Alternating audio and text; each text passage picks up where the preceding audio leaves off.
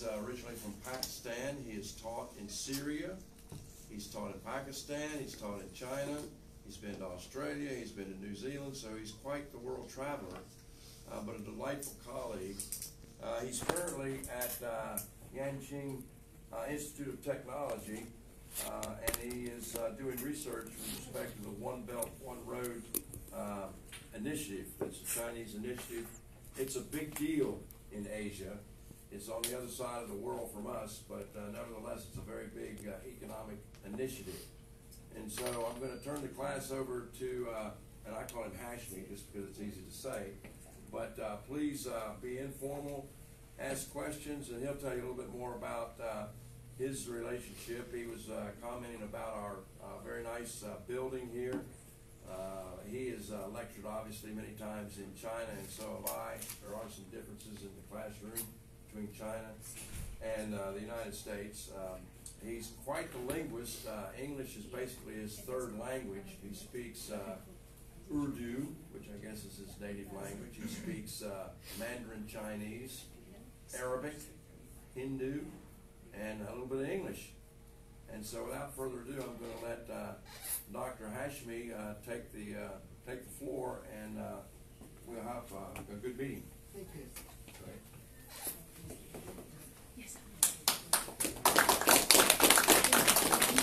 Very good. Uh, first of all, thank you so much, and um, maybe you don't know um, how much uh, Professor Taylor and I uh, are close friends. I can give you just an example.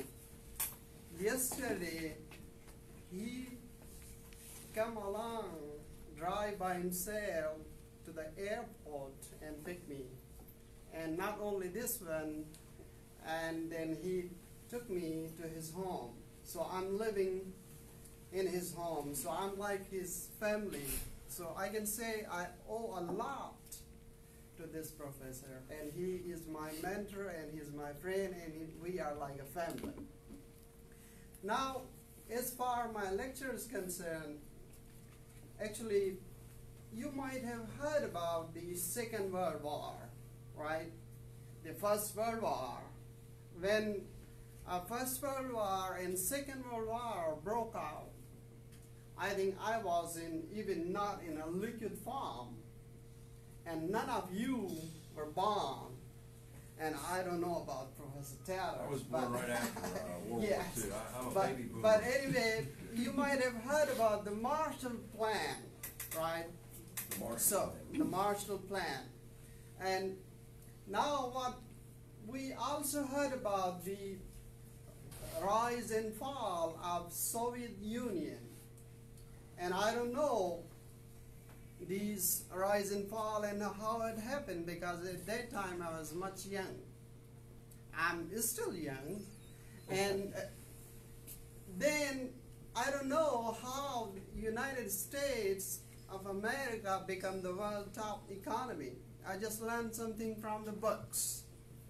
But now I I'm I can see how China is going to be the biggest economy. And the people are talking about that China is going to be rule the world. You can have a reservation, you can disagree. But people call it it's a Chinese century. So I feel excited and as an economist I feel uh, China is a place it's a real laboratory where economists they can really observe how economy goes through uh, different transactions. China was poor and it is developing and it's moving to develop. So for us it's a really a laboratory as an economist to see how policymakers are coming up with the plans. So this one is another plan which will not only affect China, but it has a huge implications for the global economy. So, uh, I don't know how much you know about China, but One Belt, One Road is the master plan actually initiated by the current president Xi Jinping in back in um, 2013. Now, uh, this is the uh, plan is inked into the 13th five-year plan, which runs through 2016 to 2021. And to support the World Bank, uh, One Belt One Road, they have established AIB, the Asian Infrastructure Investment Bank. Do you know about this one? Uh, we've talked a little bit about it as a third alternative to the World Bank and the World Trade Organization. That's true. This is a Chinese initiative. It has Chinese capital. Right. And even England and France have joined the uh, Yes. Asian Investment uh, Initiative. Actually, AIB has more than uh, 75 countries uh, founding members. America is not the member until now, though they invited America to join it. But as Professor Taylor said, AIB is a similar level and at least Chinese yuan to bring this bank similar equal to the World Bank. And I, I, I know it's not going to be only AIB. Chinese might be in the coming years will establish WTO similar as well as IMF. So these all institutions are in, in, in pipeline. But anyway, I'm moving with the AIB, I mean the, the B&R. So basically the main purpose for creating BRI is uh, creating trade links um, between uh, the countries and uh, until now more than 65 countries are engaged in, in this project. And then uh, the main reason, another reason is it's connecting uh, almost the whole world except the northern part of the world.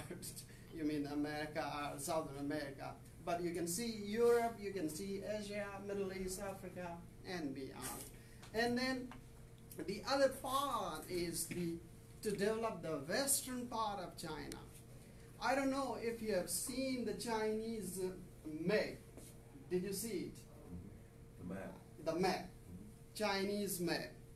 It, it is like a chicken. I, I, I'm sorry to say, it looks like a chicken, but uh, uh, the western side is actually the tail, tail, and it is uh, less developed in comparison with the south and east and other the coastal regions. So other reason is to uh, develop the western part.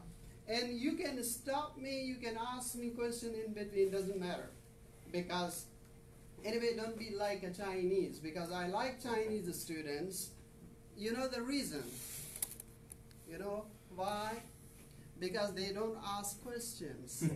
yes. So I hope you would ask questions. You can interrupt me. It doesn't matter. But you, you would ask questions wherever you feel uh, clarification. Okay. Now, in order to execute these uh, uh, trading routes, they have two plans. One is connecting China by road, and the other is connecting China to those 65 countries by sea.